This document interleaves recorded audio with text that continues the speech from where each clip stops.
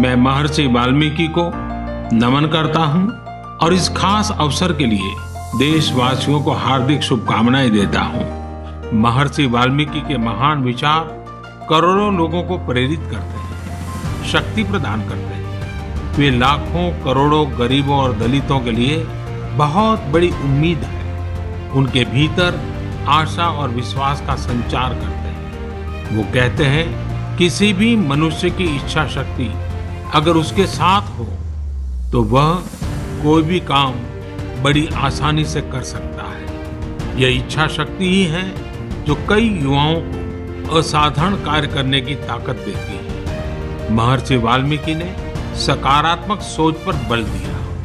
उनके लिए सेवा और मानवीय गरिमा का स्थान सर्वोपरि है। महर्षि वाल्मीकि के आचार, विचार और आदर्श आज न्यू इंडिया के हमारे संकल्प के लिए प्रेरणा भी है और दिशा निर्देश भी है। हम महर्षि वाल्मीकि के प्रति सदैव कृतज्ञ रहेंगे।